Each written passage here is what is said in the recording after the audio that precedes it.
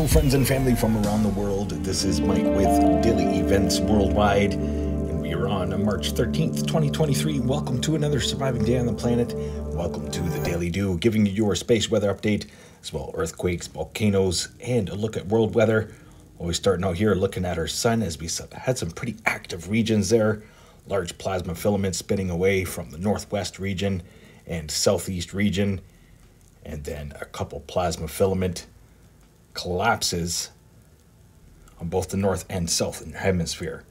Having a look here at the last 48 hours incoming, large event there, northwest region, right hand side, as well as southern hemisphere plasma filament collapsing onto the surface. Looking at outgoing imagery here is where we see that plasma filament eruption. We also had quite a large event on the backside of the sun won't be visible here, but it is visible on the LASCO images. Full halo CME from a large flare. Having a look here at multi-spectrum, at all of the major events over the past 48 hours. We do have a coronal hole that has developed equatorial region of our sun and is now earth facing. You can see that here at 171 angstroms.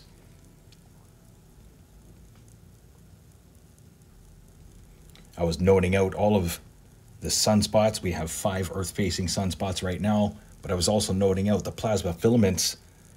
And since I did do that, they have all either ripped away or fallen back into the surface.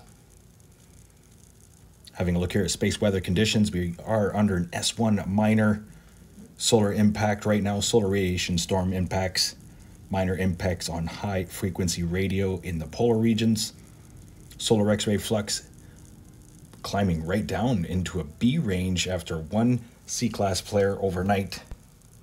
Solar proton flux definitely seeing an increase here. I'm pretty sure those are effects from that full halo CME. Having a look at the real-time solar wind, we're sitting at 333 kilometers per second, but look at the density bunches there, 13.4, steadily rising up.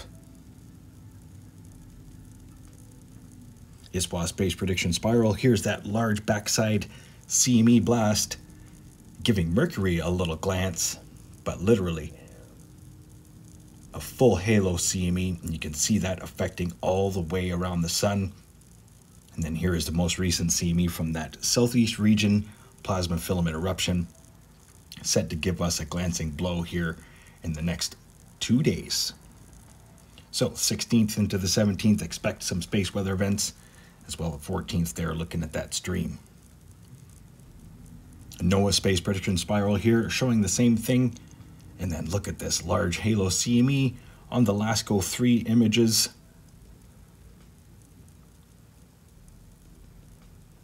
Wow. Massive halo CME on the backside of the sun. I really would have loved to have been able to see it God that was not in an earth-facing fashion. And let's get to earthquakes here the past 24 hours. We're going to start out in Yellowstone as we are seeing an earthquake swarm right now, only showing four earthquakes here through the region west of Yellowstone in Montana. Having a look at USGS, they are reporting 78 earthquakes throughout the region, and that has only just started today. So these are all earthquakes today. We're seeing a small swarm west Yellowstone towards the Purple Mountains. And since then, activity has calmed down at the Tanaga volcano through the Aleutian Islands. Quick glance there, looking at only 31 there today. Across the rest of the United States, 3.0 there, Madero, BC, Mexico border, as well. Haida Gwaii, Canada, 4.2, that's Port McNeill. And then looking at Alaska, minor activity through the region. Four is ringing out all across the West Ring of Fire. Most recently there in Kuril, Russia. Largest to report that last 24 hours, Papua New Guinea 5.2, 127 kilometer depth. And the deepest today, Levuka, Fiji 5.0, 552 kilometer depth. As well, 4.7 there, notable. New Zealand, 4.0 earthquake here in China, West of Xinjiang. Activity coming back to Turkey as well, seeing three earthquakes through the region, largest being a 4.7 and that 4.2 Romania. 4.9 reported here, South Sandwich Islands, so seismicity continues there. South America definitely saw an increase, 5.1 here, Peru, 4.5, Salta, Argentina, as well as 4.5, 4.7, Peru. And then we get to the Dominican Republic, and look at here, we had a 4.6 magnitude, as well two 3.7s through the region, 3.9 as well, Dominican Republic, Puerto Rico. Definitely seeing some activity today, a little bit worrisome. Quick glance here at the last seven days for shakers across the world, seeing increasing activity through the North American plate. As well, Southwest region, Ring of Fire. And of course, Alaska through the Aleutian Islands this week. Pretty deep earthquakes there. Tajikistan, and as well some deep movement through Europe.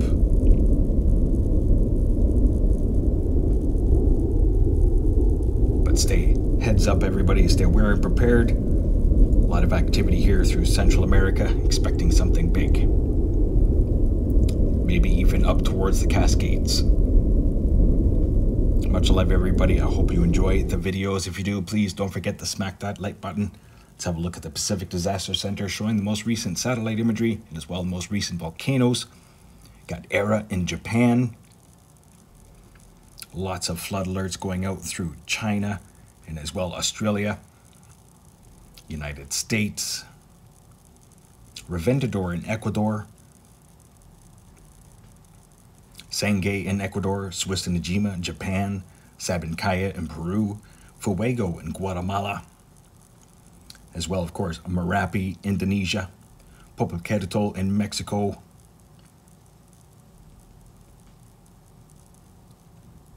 Ebeko in Russia.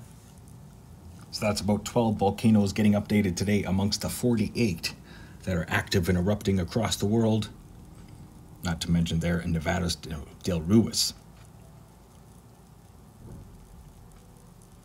Quick glance here at satellite imagery. This is the last three days of imagery.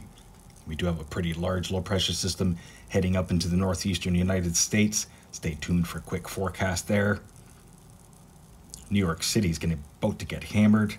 Then you've got the atmospheric river that's affecting the west coast, California, and northward. Watch for that to continue.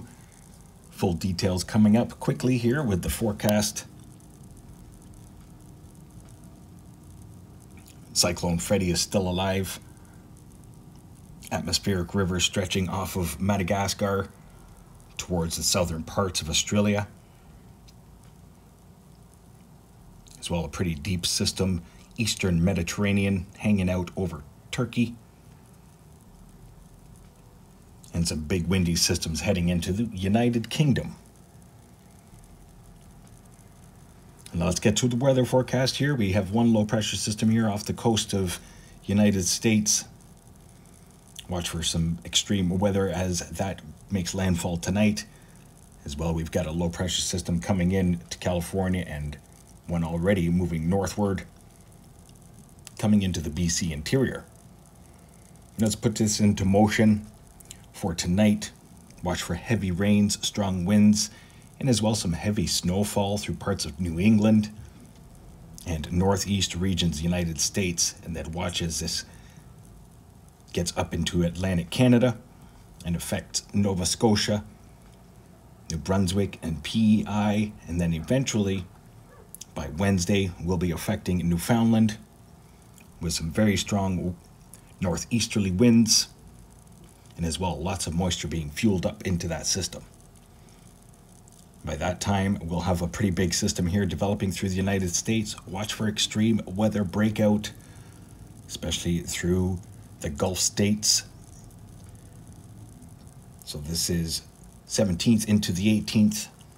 Watch for snow on the backside of this system. And also watch for some pretty warm temperatures ahead of that. But then cold temperatures yet again. And then overlooking the west coast here, put this into motion as we have a low pressure system making landfall tomorrow and into Wednesday, California, like they haven't seen enough moisture already. So definitely flood alerts, watch flood watches and alerts for California all the way down to Los Angeles. And then after that, our next major system will be just around springtime. But watch for that to quickly diminish into the Atlantic. Long range forecast, we do have some pretty big systems there coming in, overlooking South America. No major systems affecting you this week. Daily evaporation rains. Nothing major to report.